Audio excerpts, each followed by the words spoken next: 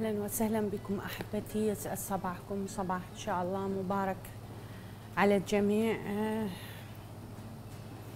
أتمنى كل الخير والصحة والسلامة. ويا ربي الله يكثر من أمثال آه، ابننا العزيز اللي كان محور أو ضيفنا اللي كل أكن له كل التقدير وكل الاحترام. والله يبارك به ويبارك بأمثاله. يا ربي إن شاء الله آه، يكافيك مئة ضعف يا أبني في هذه الدنيا وفي الحياة الأبدية. وقدر ما تستطيع أعطي لأن إحنا خطار وذاهبين إلى عالم يمكن العالم المستقبلي أو الثاني يفتح لنا أبوابه أكثر مما إحنا في هذه الأرض يمكن نعاني الأمرين والمشقات. ويبقى الإنسان إنسان سفارته الأولى والأخيرة أخلاقه وطيبة قلبه. أتمنى للكل الخير، الصحة، السلامة. وإن شاء الله الله يكثر من أمثالك يا أبني. أه، أحبتي هذا اليوم أه، انتقل كوكب عطارد إلى برج الجوزاء وبانتقالته إلى برج الجوزاء غير عندنا الخارطة الفلكية وبتغيير الخارطة الفلكية لهذا اليوم هناك أه، يعني توقعات ممكن إنه أه، نقدمها لكم نتيجة لهذا التواجد. فلو كان السيد المخرج يساعدني في أن آه، نستعرض الكارت اللي يخص الخارطة الفلكية فيما يخص كوكب عطارد والخارطه الفلكية. سيدي المخرج. آه، شكرا شكرا. انتقل كوكب عطارد إلى برج الجوزاء الهوائي وسيمكث فيه لغاية آه، شهر تموز يوم خمسة سبعة راح يغادر برج الجوزاء. فهذا هو بيته آه، أو هذه هي المدة اللي راح يمكثها في هذه الفترة. فيعني هي مدة ليست بقليلة. إذا على هالتغيير اللي غير لنا إياه كوكب عطارد أكيد وبكل تأكيد راح تتغير الخارطة الفلكية. وتتغير كذلك معها التوقعات. وفق آه، موقع كوكب عطارد القوي بتأثيره. فالشمس في برج الجوزاء أكيد. القمر هذا اليوم مكتمل أكيد في برج القوس الناري. عطارد في برج الجوزاء. الزهرة ما زالت في برج الثور المريخ في برج الحمل الناري. أورانوس في برج الثور زحل بحال التراجع في برج الدلو الهوائي المشتري في برج الحمل الناري نبتون في برج الحوت وبلوتو بحال التراجع في برج الجدي الترابي. هذه هي الخارطة الفلكية لهذه الفترة وأكيد نبدأ آه، ب آه، يعني معرفة ما هي التقدم أو موقع كوكب عطارد وفق الخارطة الفلكية اللي قدمناها؟ أولا حتى يكون بمعلومكم مواقع الكواكب بالأبراج وهاي راح تكون الخارطة الفلكية للمولود لهذا اليوم إن شاء الله و- وموقعه راح يكون كلش حلو لأن كوكبه والشمس موجودة في برجه فخارطته الفلكية تنطي إيجابيات كبيرة خصوصا من الناحية الشخصية فخل تفرح كل أم خلفت بهذا ال ال الوقت أو هذا اليوم. إن شاء الله راح يكون آه، ولد أو بنت آه، آه، خارطتهم حلوة. بالنسبة إلى آه، الوضع بصورة عامة مواليد برج الحمل الناري. من الممكن أن يكون هذا التوق... هذا الموقع راح يساعدكم كثيرا في تنقلاتكم وكذلك في أسفاركم القريبة. قسم منكم راح يكون عندهم إيفادات إذا كانوا موظفين ينشملون بإيفادات عمل. آه، لكم رغبة في التنقل فراح يكون عندكم هذه فترة تنقلات. آه، يمكن كذلك آه، إذا كان لأحد من عندكم شراء حاجة ثمينة فأصبح من الممكن ذلك. شحن البضائع أو ال ال ال تداول الأموال يعني بين الدول ممكن راح يكون أكثر إيجابي خصوصا إذا كنتوا أصحاب شركات وهاي أبراجكم. فإن شاء الله آه، الوضع إيجابي. برج الجوزاء صديق الحمل آه، وجود كوكب عطارد راح يساعد يساعدك كثيرا خصوصا مع وجود المشتري والمريخ. فراح يكون في انسجام معه. هذا راح يساعدكم كثيرا في تنشيط آه، أوضاعكم أو تنشيط بعض الأمور أو بعض الأخبار ممكن أن تصلكم تساعدكم كثيرا. مواليد برج الثور عزيزي هذه هي الفترة الأكثر ملائمة للبحث عن الرزق أو رزق بديل. آه، ممكن إيجاد ما يعني أمور مادية وهي فترة جدا مناسبة للاستشفاء. لكن آه، يعني بأنه نحاول قدر المستطاع إنه اللي كان عنده أمور استشفائية يحاول قدر المستطاع إنه آه، في هذه الفترة يستفيد لأنه تعتبر فترة استشفاء لمواليد برج الثور. مبلغ من المال قد يصلك أو هدية قد تصلك، تعويض معنوي آه راح يجيك على السريع، أخبار تخصك أو تخص أحد أحبائك راح تصلك آه على السريع. بالنسبة إلى مواليد الجوزاء مولود برج الجوزاء الكوكبك المؤثر كان ضاغط جدا بوجوده في البيت اللي سبقك. ويمكن أكو قسم من عندكم عانوا خصوصا اللي آه يعني آه أرقامهم تابعة لعطارد عانوا من أمراض عطارد اللي هي سوء الهضم أو الأمراض التنفسية أو التشتت الفكري وافراز هرمون الكورتيزول. هذا كله راح تتخلصون من عنده. فسارعوا في التخلص من الطاقة السلبية الموجودة في جسمكم حتى تستقطبون الطاقة الإيجابية. لأنه في حال لو كان هناك طاقة سلبية ما راح يسمح للطاقة الإيجابية بالتقدم. فيجب أن نطردها. وأنا علمتكم أبسط طريقة. وما أحلى البساطة. البساطة يا جماعة في الحياة دائماً بأبسط الطرق نساعد نفسنا. فهذه أبسط الطرق واحد متمكن عليها. فسارعوا بالتخلص من الطاقة السلبية حتى تستفيدون من الطاقة آه، كوكبكم الحاكم خصوصا بانسجامه مع زحل مع الزهرة مع المريخ مع المشتري. فهذه الفترة راح تكون شوية بها نوع من الحلول نوع من ال ال شلون نقول توقد الأفكار أو مساعدة الآخرين في تكوين فكرة نتخلص بها من كثير من العوالق اللي كانت في حياتنا.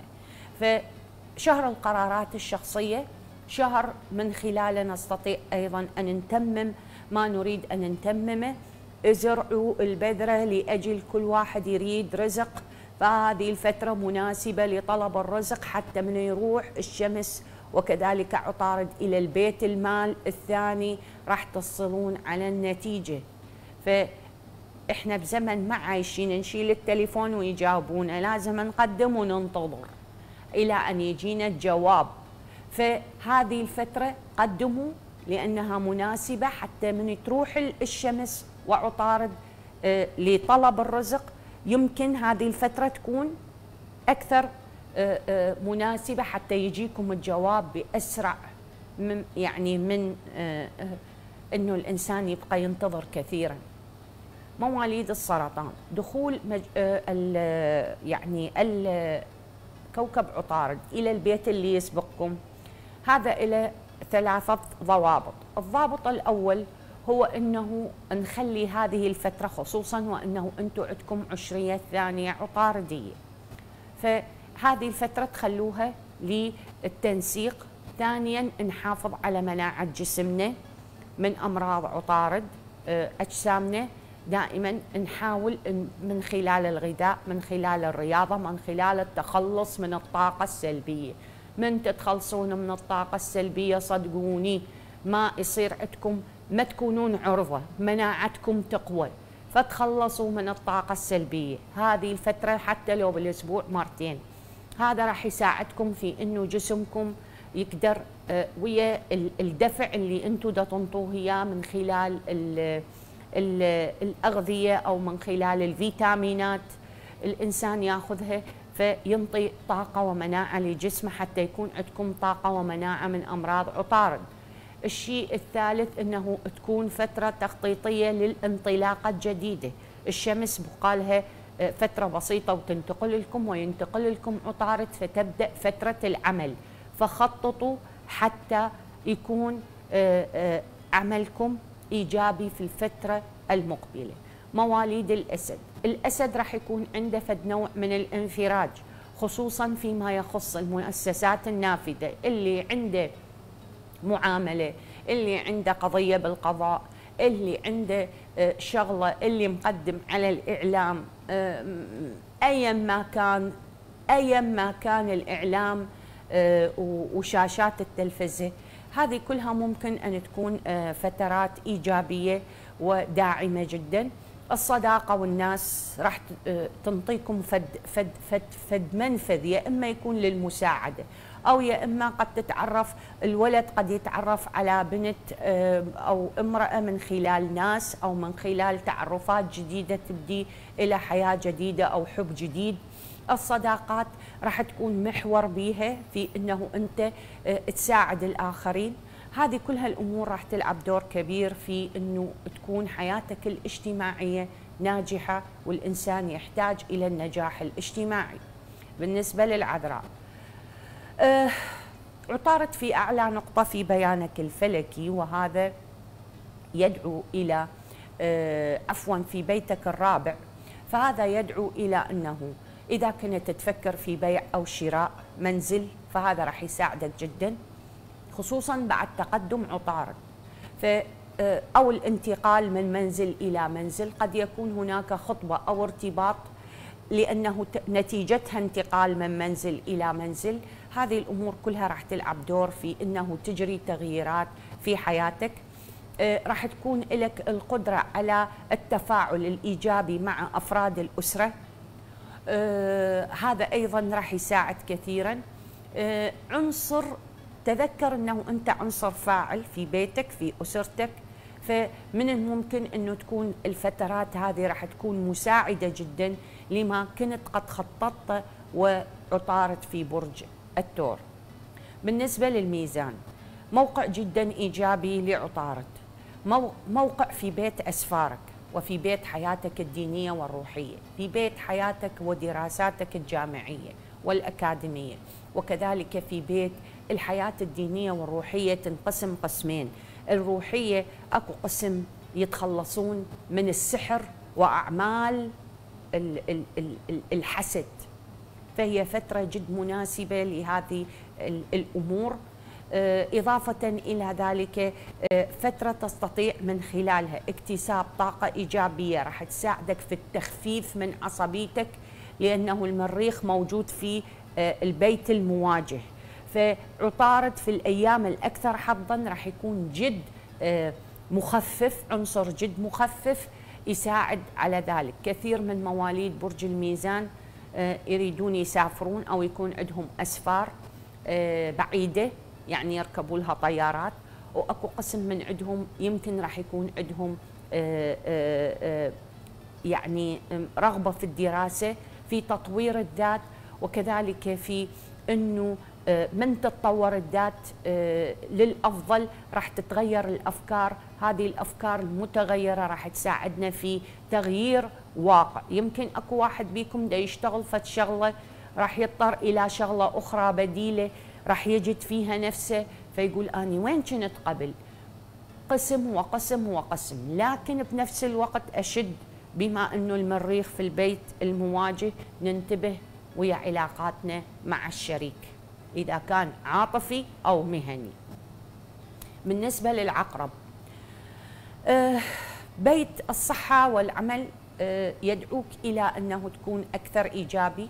راح تكون عندك رغبة في بدء حمية غذائية في الانتباه إلى لكك العام. أكو قسم وخصوصا آه، مجموعة الزهرة. راح نلاحظ أنه يريد يغير بشكله يغير بلوكه يريد يبدو بشكل أكثر إيجابي. كذلك هي فترة مناسبة جدا للبت في عمل أو عمل جديد. بيدك أنت يا عزيزي الأقرب أنه تخلي روتينك يمشي كما هو. غير من غير المناسب طالما الزهرة بعدها موجودة في برج الثور حاولوا أنه تستفيدون من آه، وجودها في أنه تعمقون علاقة مع شركائكم سواء كان العمل أو العاطفة. فترة خطوبة أو ارتباط للبعض منكم خصوصا للعطارديين. منو أقصد العطارديين؟ اللي أرقامهم 5 23 14 مجاميع القوس. شراكاتكم في العمل والعاطفة أه تساعدكم كثيرا. راح يصير عندكم تسريع في موضوع خطوبة أو ارتباط تسريع في رغبة في الاستقرار تغيير من منزل إلى منزل لأنه الاستقرار يشمل الاستقرار العاطفي والاستقرار الفكري والمهني وكذلك الاستقرار المنزلي. فهذه كلها راح تطمحون إليها. فيا ترى كل واحد من عندكم حسب وضعه وبيا مكان راح يستقر. أكو قسم راح يستقرون عاطفيا أكو قسم راح يغيرون بيتهم من موقع لموقع أكو قسم راح يجدون لهم عمل أو راح يحلون مشكلة ويا شريك عمل. وكذلك هناك حل لمشكلة مع شريك عاطفة خصوصا إذا كان من برج الجوزاء أو الميزان أو الدلو أو الحمل. بالنسبة لمواليد الجدي وجود ال ال هذا الكوكب راح يساعدك في الدعم المادي. أه هناك فرحة تنتظر مواليد برج الجدي. اولا انتصار في قضية معينة. اثنين ممكن أن يكون حل عندك لمشكلة مادية. ثلاثة من الممكن أنه يكون عندك أيضا حل لمشكلة تخصك أو تخص أحد أحبائك صحيا. لكن بنفس الوقت عليك الاهتمام بمناعاتك. ولا تجازف كثيرا. إذا شفت الفرصة متاحة عندك يعني حاول على قدر المستطاع على قد الحاجة لا توسع آه، في الفترة الحالية نشاطاتك. هالفرحة هذه خل تكون آه، رغم كونها أنه تحل شيء بسيط لكن إن شاء الله الشيء اللي أبعد المدى راح يكون في الأيام أو الأشهر المقبلة. بالنسبة للدلو انفراج كبير بالنسبة لمواليد برج الدلو سواء كان على الصعيد النفسي أو الأسري فرحة قد تشمل أحد الأولاد آه، أو إمكانية إنجاب إمكانية إنجاب لمواليد برج الدلو. طاقة إيجابية حلوة من عطارد في تسريع أموركم. حاولوا التخلص من الطاقة السلبية رجاء مواليد برج الدلو. فترة مناسبة جدا اغتنموها أبشع اغتنام. بقالي الحوت فمواليد برج الحوت الفترة مناسبة جدا لتحركاتكم. آه، التحرك اللي يخص آه، شراكاتكم. لأن إحنا ننتبه إلى وضع القمر. كذلك ننتبه إلى بقية الكواكب. وضع القمر يقول لك أنت أيضا راح يعتبر هذه الفترة فترة تغييرات بالنسبة إليك إلى وضعك. هذه التغييرات إيجابية راح تشمل تغييرات يمكن يكون أنت أيضا عندك انتقالة من منزل إلى منزل ومن الممكن أن يكون عندك انتقالة في آه، يعني تصرفك أو موقفك مع البعض. آه، للأفضل. يمكن هذه تكون آه، آه، جملة التوقعات نتيجة لوجود كوكب عطارد السريع في برج الجوزاء الهوائي. والله أدرى وأعلم. قدم الله لكم كل ما تتمنون. أنقل الأجواء إلى زملائي مصطفى وماس. شكرا لك ست جنان وما أعرف مسالتي على الكوكب الزهري ما أدري شنو اليوم؟ ست جنان القمر الزهري. اليوم مدري باكر يطلع وقت الغروب. أي شنو تحكي لنا عنه؟ أه باكر أحكي لكم تمام يلا باكر هم موجود لأن المخرج يقول وقت البرنامج خلص وقت قمر زهري. اذا يعني باكر إن شاء الله تحكي لك عن موضوع القمر الزهري. اذا مشاهدينا الكرام بمسك الختام اللي كان مع ست جنان فيكتور وصلنا إلى ختام حلقتنا لليوم بكل تفاصيلها وفقراتها الصباحية. بالختام أكيد تحياتي وتحيات ماس وست جنان وكل كادر برنامج يوم جديد. والختام سلام.